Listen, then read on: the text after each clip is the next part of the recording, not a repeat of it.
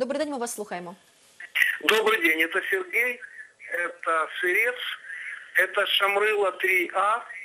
В этом э, дворе э, построен супермаркет. Это удивительные вещи. Значит, как раз э, в пяти метрах от ограждения детского сада. Отобрали территорию двора, совершенно незаконные стоянки там для машин пройти э, с детьми невозможно. Плюс к тому же хозяин еще имеет жилье на втором этаже над этим супермаркетом. Это нонсенс. Спасибо, ответьте, как его оттуда убрать. Вокруг еще шесть магазинов э, в 10 Так. минутах даже ходьбы вот этого места. Спасибо. Дуже дякуємо. Дякуємо за те, що ви зателефонували нам і розказали цю ситуацію. Прошу. Ну, если есть супермаркет, э, и он построен, то, во-первых, надо проверить э, землеотвод. Раз. Может, э, документы на его строительство. Два. Э, Естественно, надо обратиться к своему по-любому депутату, обратиться в профильную комиссию. Как убрать, это должны, мы иметь должны документы. Мы живем в правом государстве, в правом поле.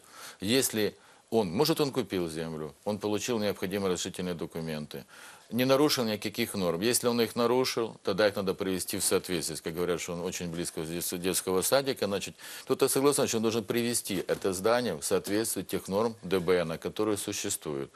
А если он вообще его построил без документов, тогда есть процедура, которая вам расскажет, ну, если вы обратитесь, то это профильная комиссия, если обратиться депутаты, думаю, его юрисконсультанты тоже объяснят, как это сделать.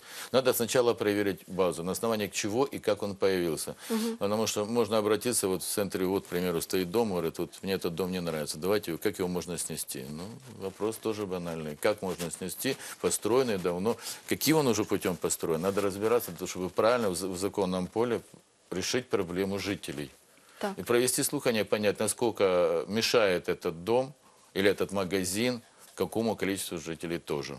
Так само, Может, так. э, в этой ситуации бывают такие моменты, что кто-то на кого-то обиделся и пытается просто создать проблему. А остальным людям в этом моменте, наоборот, они герои выходят, кричат, что не трогайте. У нас это все устраивает, это нам на докупку, это нам еще на что-то. Ну так, це життєвий все-таки фактор. Но это людський тут такий. можно психологически больше вопрос, который тоже. Ну, при этом, конечно, понять, если как-то застроено, то есть для этого э, человек должен, если он хочет это понять, он должен обращаться, а не ждать, пока к нему придут и будут ему помогать, и ду- догадываться, какая у него проблема. Так. От давайте ми поговоримо про засідання вашої профільної комісії. Звертаються до вас так само там люди, у вас активно вони проходять завжди. Останнє засідання було у вас у вівторок, правильно? Да. Які такі найгостріші питання ви можете виокремити, які ви розглядали? Ну, от, наприклад, ну, у так, вас. э, много ничего не скажу. У нас, если честно сказать, очень много вопросов. Если начинать перечислять, то повестка состоит из 300 листов. То есть, и каждый у вас вопрос... найактивнейшая она- комиссия, То есть в так. этих моментах э, проблем... воп- Вопросов проблемных очень много. То есть, если перечислять, то мы займем не только ваше, мое эфир, а все время, во- вообще эфирное время вашей программы. То есть, если конкретно вопрос, можно конкретно как бы спрашивать о чем-то, объяснять. А проблемы возникают на каждом случае. Начиная от э, плана-детальной планировки, начиная от там, застройки, начиная ну, вот, от всего, чего... На договора о расторжении, договора выделения, потому что тоже э, люди, например, построить дом, не могут его приватизировать, ну, получить землю, потому что нет еще плана детальной планировки, а человек не может ее реконструировать. Начиная даже церквям приходится отказывать, потому что реконструкции, потому что нет плана детальной планировки. Говорят, извините, мы не можем реконструировать. Э, Ну, если вы уже самостроен, ну, тогда вами прокуратура будет разбираться. Так. То есть каждый, на каждом разделе, их, этих разделов у нас 15. В каждом разделе найдется... Ну просто скажем, іноді буває у вас на комісії таке якесь питання, яке просто затьмарює всі інші питання. І У от нас, ви у дуже нас, у нас активно. нету таких, у нас все затмаривают. Там, если честно, Один одного, так? ну, очень много, ка- и серьезно, очень много опросов. Мы даже за одно заседание не можем решить иногда некоторые проблемы. Вот вы некоторые проблемы только что даже спрашивали. Вот две из них это долго были. Да- За этот полугодие проходило очень много всяких вопросов, которые приходилось с разными застройками в основном это. Э, Народ иногда прав, иногда неправ, надо понять. Надо иногда по- по- получается так, что где застройщик прав, но он или опоздал, и долго протянул, и не мог застроить. А надо находить теперь вопросы компенсации долевого участия или что-то еще. То есть возникают разные... И, как правило, за одну комиссию они не решаются. Это две, три, четыре комиссии иногда проходят. Выковня было, ПДП, сейчас еще Ну, это уже да, так да. То есть, ну, то есть это сложный процесс, это вот, Выковня это было полгода. Так. Сейчас вот чувствую, что такие, вот это я могу запомнить, потому что каждые полгода мы на комиссии разбираем. В основном это, это в основном э, проблемный проблем, это план детальной планировки. Почему план детальной планировки? Это одна из возможностей каким-то путем попытаться решить генплан города, хоть кусочками. Ну, а это, Так, как правило, возникает ситуация довольно сложная, потому что части людей это нравится, а части это не нравится, части нравится, части не нравится. Приходится тем, кто заказчику, переделать по пять раз, доказывать это. Ну, то есть Є свої нюанси. есть свои нюансы. То есть очень тяжело, если по- рассказать о всех проблемах, то это очень надолго будет. Ну так, знаючи роботу вашої комісії, це дійсно правда. У нас є телефонний дзвінок. Добрий день, ми вас слухаємо. Э, Здравствуйте. Я проживаю по э, адресу улица Автозаводская, 21А. Это Оболонский район. Это перекресток Луговой и Автозаводской. У нас хрущевский пятиэтажный дом на два пару, ну, подъезда. Небольшой, мы давно тут живем. И у нас когда-то вот были подвальные помещения.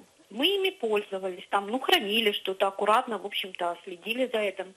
А вот сейчас э, там, допустим, сауна, ну, иногда бывает у нас перебои там с водой. Теперь вот зоомагазин, сейчас вот специфический запах, да.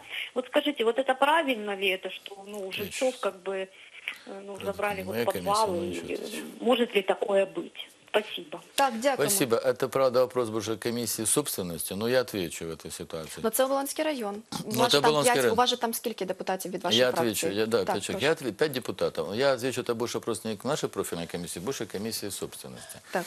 Ну, здесь два вопроса. Э, По закону, э, когда сейчас два есть момента, по закону все прилегающие, ну, все помещения, лестничные марши, подвалы являются э, як би, зоною загального користування. Э, Если они э, не были до этого момента оформлены, либо какой-то либо квартире приписаны, либо они не перешли при моменте строительства э, в местную собственность или в местность, местную собственность какой-либо из компаний. Тогда, если на это помещение нет оформленных документов собственности чей-то, и она, например, находится в аренде или в управлении района, то тогда это полное законное право потребовать освободить, потому что эта территория является, ну, под подвал является собственностью всех жителей дома. И это лестничный марш. А если в этой ситуации при моменте строительства или проектирования этот подвал был привязан к какой-то квартире, тогда это собственность этой квартиры, и она может изменить статус его с нежилое в жилое, или жилого в нежилое, и разместить то, что он считает нужным, если он это сделано. Если это помещение было передано на баланс района или на баланс управления собственностью города Киева, и как, как нежилое или как жилое, то распоряжаться этим помещением, естественно, управление собственностью. Тобто е, зараз краще звернутися одразу до комісії. Надо з питань понять, на- надо откоммен- это надо в комиссию. документами. Это, это можно обратиться сначала в управление, на- значит, в Анаболоне находится три у, у ЖК, так не три УЖК, а три, так называемых еще УЖК, то есть, собственно, и есть управляющая компания. То есть это надо обратиться первым делом в управляющую компанию, которая приняла на баланс эти помещения, и спросить, чье оно. Ну, вот как это в этой ситуации? Если это у них на балансе не стоит помещение, значит, надо тогда понимать, поднимать вопрос, что они должны освобождать это помещение. Так. То есть там уже есть, в Наболоне, в принципе, все округа накрыты депутатами, так что есть наш депутат, Можно можете спокойно обратиться, и он профильно может рассказать или дать правильный запрос на службу Ну, то есть, которая должна ответить, на, у кого на балансе находится это помещение. Может, это самозахват. Так, дякую. У нас є ще телефонний дзвінок. Добрий день, ми вас слухаємо. Здравствуйте. Добрый день. Меня зовут Наталья. Я, мне очень понравились слова депутата, и я хотела бы их прокомментировать по поводу того, что вот стройки, э, стройки там или здания, одни могут нравиться, другим не нравятся. Вот мне кажется, пришло время киевлянам рассказать, что не надо все время только возмущаться. Нам то не нравится, нам то не нравится и то не нравится.